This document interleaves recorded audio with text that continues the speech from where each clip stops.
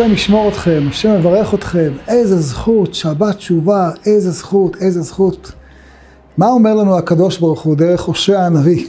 אקרא לכם את המילים הכל כך uh, מחיות, ארפה משובתם, אוהבם נדבה, כי שב אפי ממנו, אומר הקדוש ברוך הוא, אני לא כועס עליכם, אני אוהב אתכם, שב אפי ממנו, כבר אין יותר כעס. ושימו לב למילים האלה שפשוט אפשר להינמס מרוב אהבה לקדוש ברוך הוא.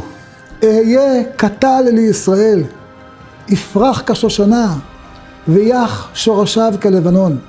מה זה אהיה קטל לישראל? חכמינו אומרים שכשהקדוש ברוך הוא אה, נתן תורה לעם ישראל, אז הוא הוריד טל שעתיד להחיות בו מתים.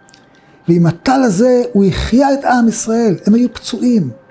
פצועים מגלות ארוכה, 210 שנים במצרים, פצועים פיזית, פצועים נפשית, פצועים רוחנית, מלאים פצע וחבורה ומכה טריה. הקדוש ברוך הוא הוריד טל שעתיד להחיות בו מתים, החיה אותם. במקום עם מרוסק, עם מלא חיות, מלא אהבה, מלא שמחה, נעשה ונשמע. זה הטל שהקדוש ברוך הוא, באמת, עיקר השימוש בו זה בגאולה. טל, ש... טל שעתיד להחיות בו מתים. אה, בפשט הגמרא אומרת, זה לא רק אה, אדם שנמצא בבית קברות תחת מצבה, יורד טל, הוא קופץ מהזה. אה, הגמרא אומרת, זה מדובר על עם ישראל. שעם ישראל בגלות הוא כמו בקבר, חס ושלום. הושיבני במחשכים כמתי עולם. זה, זה הגלות, כאילו אדם נמצא בתוך קבר.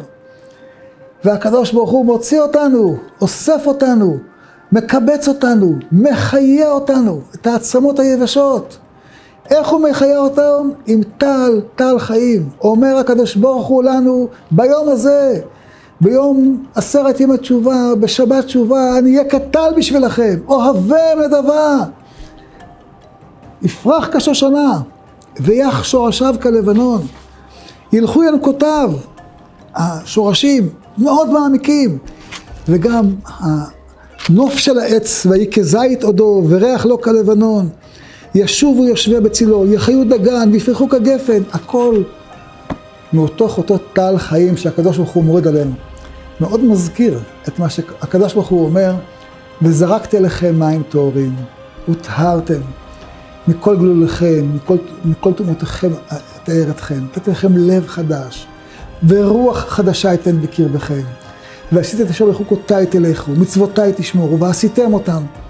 זהו, איזה שפע, שפע, איזה מתנה. איזה מתנה אנחנו מקבלים בשבת הזאת.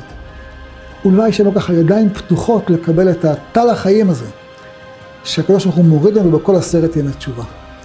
את המים הטהורים, שככה מחדשים אותנו, מחיים אותנו, שנצמח, שנכה שורשים, ש... אמן ואמן.